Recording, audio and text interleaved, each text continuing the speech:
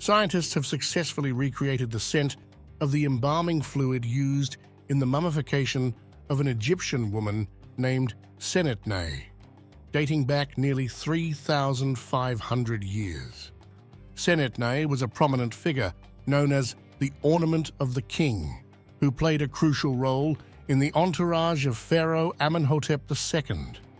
The recreated scent offers insights into the remarkable ingenuity of ancient Egyptians in preserving organs during the mummification process.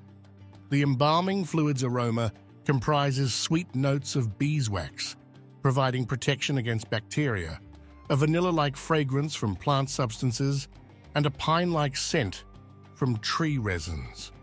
Surprisingly, it also contains a less fragrant odor resembling freshly surfaced road tar, as bitumen was used to seal organs from moisture and insects. Furthermore, this research suggests that ancient Egypt may have engaged in international trade much earlier than previously believed.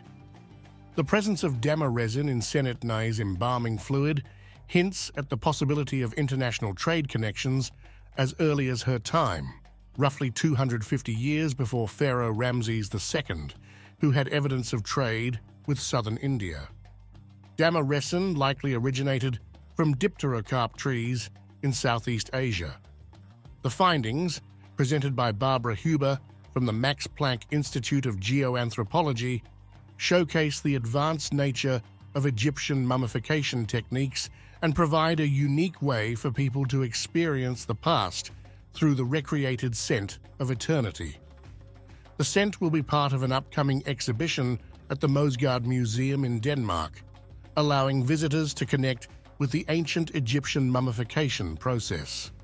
Overall, this research not only sheds light on ancient Egyptian practices, but also hints at the extensive trade networks that existed in the ancient world, potentially rewriting some aspects of history.